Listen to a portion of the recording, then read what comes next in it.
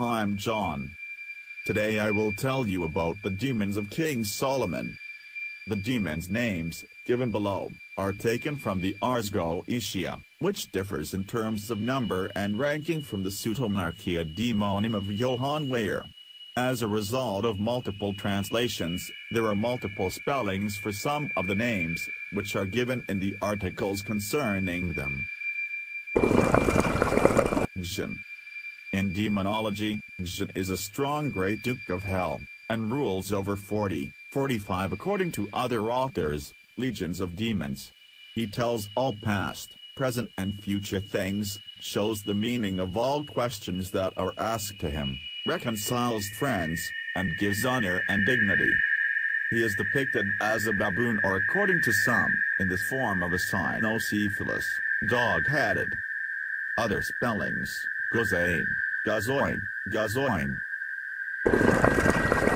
Sitri. He appears during the say even though Seth is the Egyptian lord of darkness. He is one of the seven sons of Satan. He is dark completely, jet black hair.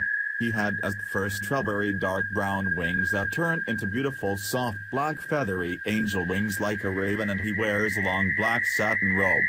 He was very kind, soft-spoken, and left me with a strong energetic feeling of peace. He has the most beautiful energy.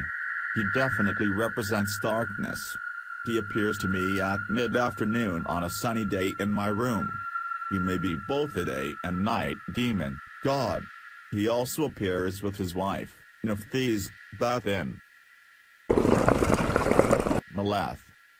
Horrible and powerful king. He rides on a white horse while all kind of the music surrounds him.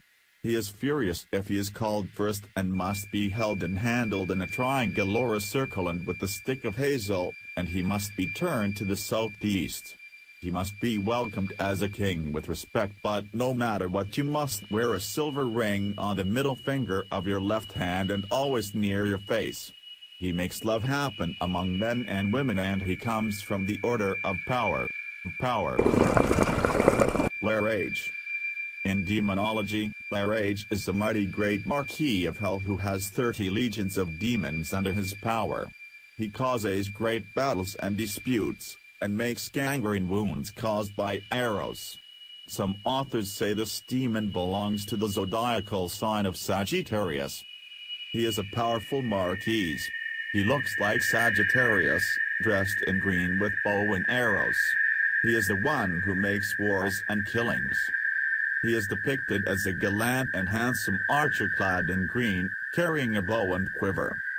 Other spellings, Larigi, Larry, Larica, Lare, Lore, Ore. Eligor or Abigor. Fallen angel and the 15th of the 72 spirits of Solomon. Eligor is a duke who appears as a goodly knight carrying a lance, a serpent, and an ensign. He discovers hidden objects, kindles love and lust, and procures the favor of lords and knights. He marshals armies and causes war. He has 60 legions of demons under his command, his command. Zepar. Not much is known about the Duke Zepar. He is primarily summoned by male followers to make women fall in love with them. The cost of this love is that the woman who falls in love in this way will not be able to conceive the man's children. To some this may not seem like a very big deal, but centuries ago men considered having children to carry on a their family name to be of great importance, especially to men in powerful positions or with long family legacies. He can also cause people to shape-shift into other forms, usually at the request of this summoner, but not necessarily in the form that is requested. Zepar always appears in red knight's armor, knight's armor. Botis. In demonology, Botis is a great president and Earl of Hell, commanding 60 legions of demons. He tells of all things past and future, and reconciles friends and false. He is depicted as an ugly viper, but when he changes shape, he puts himself in human shape, with big teeth and two horns, when in human shape he carries a sharp and bright sword in his hand. The great president and count. He appears as a big snake, but he can also take the shape of a human but with horns and big teeth. He carries sharp sword in his hand he is the creator of past, present and future. He can bring peace between enemies. Bathin. In demonology, Bathin is a duke, great duke according to Pseudomonarchia Daemonum, of hell, who has under his command 30 legions of demons. He knows the virtues of precious stones and herbs, and can bring men suddenly from one country to another. He helps one attain astral projection, and takes one wherever one wants to go. He is depicted as a strong man with the tail of a serpent, riding a pale horse. Powerful duke who appears as a strong, big man with the tail of a snake, riding a white horse. He is good with herbs and jewelry. He can take people from one place to another in a second.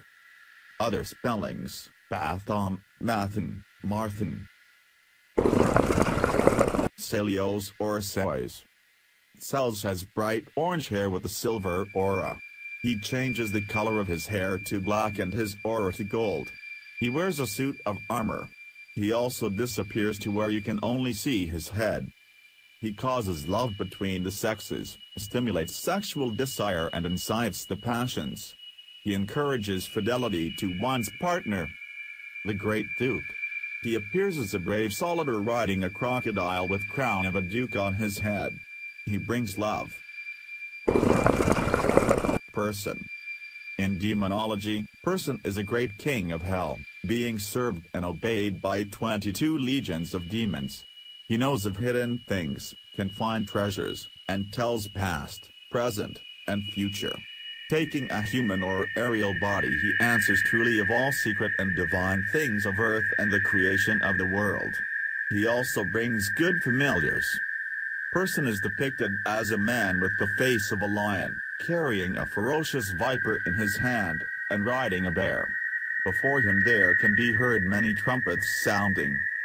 Other spellings, Curson, person. Legend of Throne. Solomon at his throne, painting by Andreas Brugger, 1777. Solomon's throne is described at length in Targum Sheni, which is compiled from three different sources, and in two later Midrash. According to these, there were on the steps of the throne twelve golden lions, each facing a golden eagle. There were six steps to the throne, on which animals, all of gold, were arranged in the following order. On the first step a lion opposite an ox, on the second, a wolf opposite a sheep, on the third, a tiger opposite a camel, on the fourth, an eagle opposite a peacock, on the fifth, a cat opposite a cock, on the sixth, a sparrowhawk opposite a dove. On the top of the throne was a dove holding a sparrowhawk in its claws, symbolizing the dominion of Israel over the Gentiles. The first Midrash claims that six steps were constructed because Solomon foresaw that six kings would sit on the throne, namely, Solomon, Rehoboam, Hezekiah, Manasseh, Amon, and Josiah. There was also on the top of the throne a golden candelabrum, on the seven branches of the one side of which were engraved the names of the seven patriarchs Adam, Noah, Shem, Abraham, Isaac, Jacob, and Job, and on the seven of the other the names of Levi, Kahath, Amram, Moses, Aaron, Eldad, Medad, and, in addition, Hur, another version has Haggai. Above the candelabrum was a golden jar filled with olive oil and beneath it a golden basin which supplied the jar with oil and on which the names of Nadab, Abihu, and Eli and his two sons were engraved. Over the throne, twenty-four vines were fixed to cast a shadow on the king's head. By a mechanical contrivance the throne followed Solomon wherever he wished to go. Supposedly, due to another mechanical trick, when the king reached the first step, the ox stretched forth its leg, on which Solomon leaned, a similar action taking place in the case of the animals on each of the six steps. From the sixth step the eagles raised the king and placed him in his seat, near which a golden serpent lay coiled. When the king was seated a large eagle placed the crown on his head, the serpent uncoiled itself, and the lions and eagles moved upward to form a shade over him. The dove then descended, took the scroll of the law from the ark, and placed it on Solomon's knees. When the king sat, surrounded by the Sanhedrin, to judge the people, the wheels began to turn, and the beasts and fowls began to utter their respective cries, which frightened those who had intended to bear false testimony. Moreover, while Solomon was ascending the throne, the lions scattered all kinds of fragrant spices. After Solomon's death, Pharaoh Shishak, when taking away the treasures of the temple, I Kings 14. 26, carried off the throne, which remained in Egypt until Sennacherib conquered that country. After Sennacherib's fall Hezekiah gained possession of it, but when Josiah was slain by Pharaoh Necho, the latter took it away. However, according to rabbinical accounts, Necho did not know how the mechanism worked and so accidentally struck himself with one of the lions causing him to become lame. Nebuchadnezzar, into whose possession the throne subsequently came, shared a similar fate. The throne then passed to the Persians, whose king Darius was the first to sit successfully on Solomon's throne after his death.